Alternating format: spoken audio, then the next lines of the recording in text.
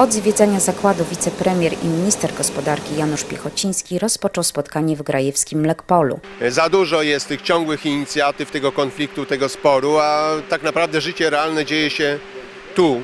Nie mniej krzyków w Warszawie, demonstracji o skuteczną politykę gospodarczą, a więcej dobrych kontaktów między polityką, przedsiębiorcami, reprezentacją społeczną, co zrobić razem, żeby sektor, nie tylko rolno-spożywczy, szedł do przodu, utrzymywał międzynarodową konkurencję. Świetne mamy informacje za zeszły rok, te 3,6 miliarda euro nadwyżki w handlu żywnością pokazuje jaki potencjał ma polska wieś, polskie rolnictwo, polski przemysł rolno-spożywczy. Mleczarstwo jest tutaj branżą wiodącą. Cieszę się więc, że jestem tu w Grajewie, bo łaciate jest nie tylko w reklamówkach w telewizji, ale jest e, w moim domu i chciałbym e, i dostawcom, i spółdzielcom, i prezesowi tutaj e, podziękować, a jednocześnie to pokazuje ile jeszcze musimy e, zrobić, żeby być jeszcze bardziej konkurencyjny.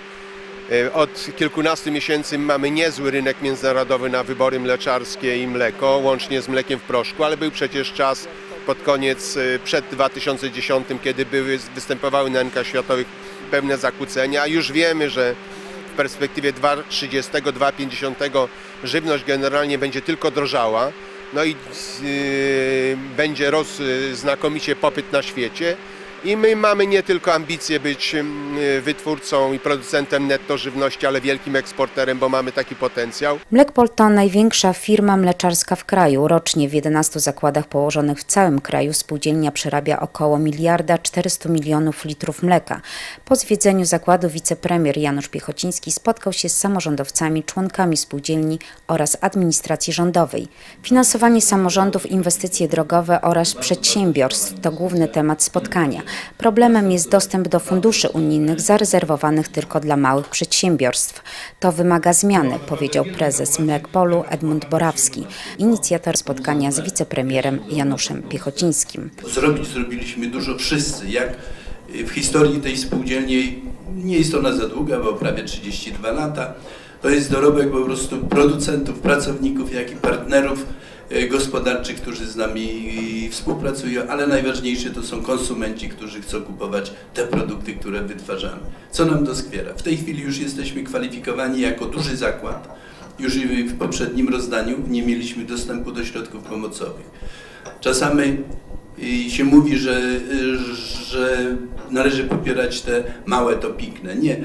Myślę, że na tym rynku jest i dla małych, i dla dużych miejsce i w związku z tym te środki pomocowe powinny również dotyczyć w naszym stopniu. Kwalifikacja dzisiaj przedsiębiorstw na duże przy zatrudnieniu 750 osób i wartości sprzedaży 200 milionów euro to są symboliczne pieniądze. W Polsce jeszcze to, te przedsiębiorstwa może się liczą, ale na rynku światowym nie.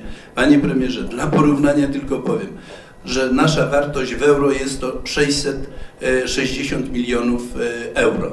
Natomiast 20 przedsiębiorstwo na świecie, mleczarskie, spółdzielcze albo kapitałowe, ma wartość sprzedaży 2 miliardy 400 milionów złotych.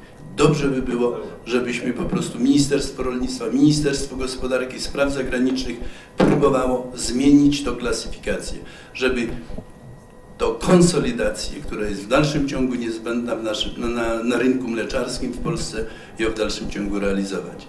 Ten dorobek spółdzielni byłby niemożliwy bez współpracy z samorządami.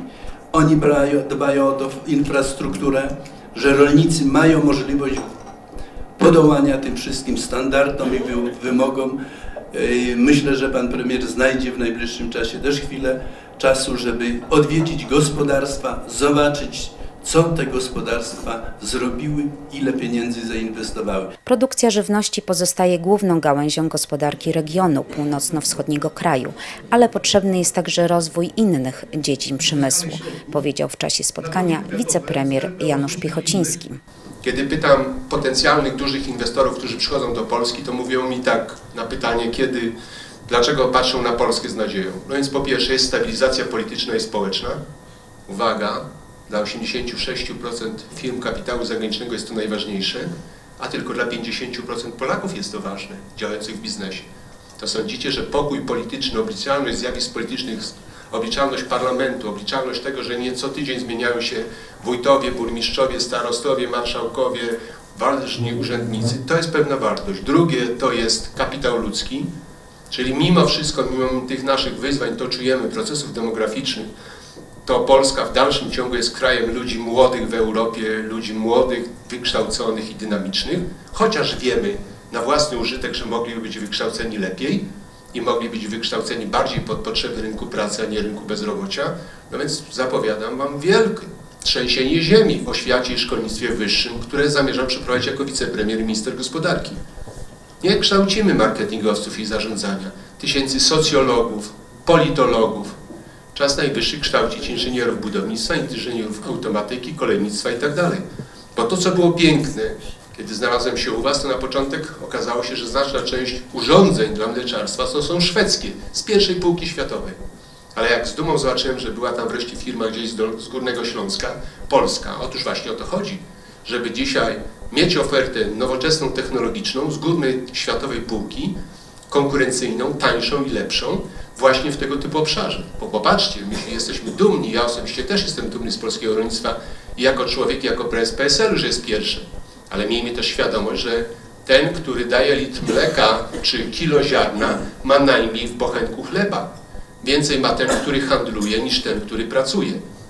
W związku z tym, w tym cieszę się, że tu poprzez spółdzielczość jest to zrozumienie, że musimy się równo dzielić tymi pożytkami, że musimy wzajemnie na siebie inwestować. W spotkaniu uczestniczyli także Dariusz Bogdan, wiceminister gospodarki oraz Wojciech Dzierzgowski, wicewojewoda podlaski, prezes Podlaskiego Zarządu Wojewódzkiego PSL.